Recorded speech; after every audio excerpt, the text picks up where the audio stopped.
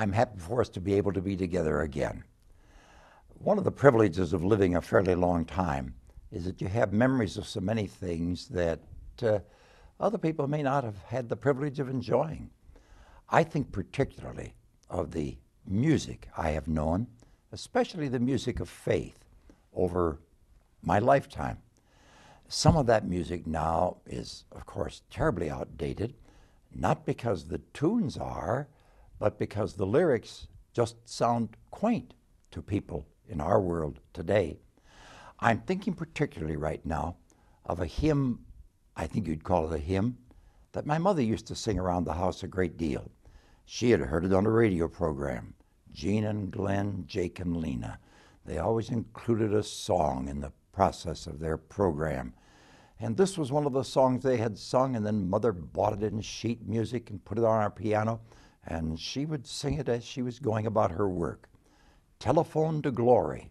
Oh, what joy divine! I can feel the Spirit moving in the line. Sent by God the Father through His Holy Son. Telephone to glory on your royal telephone. And there was a line in it that said, Central's never busy, always on the line.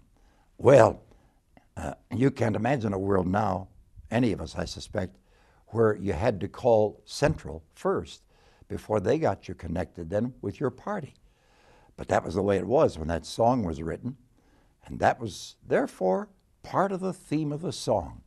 I suppose that that music could be called a kind of country western gospel. It was taking some idea and making a whole message out of it. And my mother loved to sing it. There were some problems for it, of course, as far as we were concerned, because in those days, not everybody had a telephone. I remember so clearly when our family went into the Great Depression, and the telephone was one of the first things we gave up.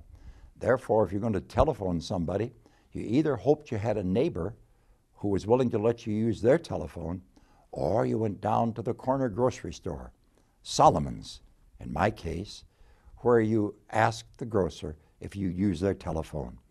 And they would look a bit harried and would say, Don't make it long. And you'd make it as quickly as you can and would run out again. And this was the world of another day and of telephones. So it kind of messed up the message of being able to call our Lord because you had to have the equipment if you followed through on the message of that song.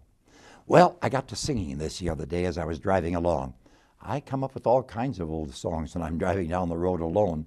Uh, and uh, this one, I was singing away. And it occurred to me that if someone could write a song along that theme today, we'd be in better shape now than we were in my boyhood. Because now we have cell phones. I can't tell you I like them, to tell you the truth. But when it comes to the gospel image, it's a better one than the old fashioned phone was. If you have a cell phone, it doesn't matter where you are, you're in contact with whomever you want to be in contact with. And uh, what may not be as pleasant, uh, they can be in contact with you wherever you are. And I must say, that's truer to the picture of prayer and our relationship with God than the telephone they sang about in my youth and boyhood. Because if we want to seek God, there's no place where we have to look for a telephone. We don't have to look for a church or our prayer closet or whatever. The telephone to glory is always available to us. It's like a cell phone, only better. The battery doesn't run out. There's nothing about it to prevent our getting through.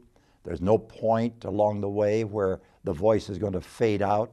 Not if indeed we have an earnestness about seeking the Lord our God. So I'm re singing that old song.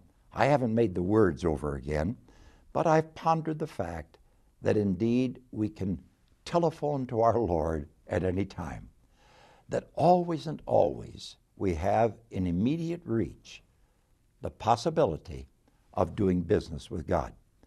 I want also to have the other side of it, that wherever I am, I will have an ear tuned to God's ring to me so that I'll recognize the ring when God calls me.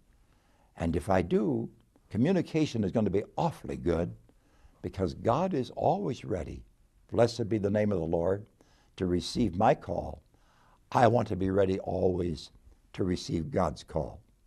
And what I wish for me, I wish for you. God bless us, everyone.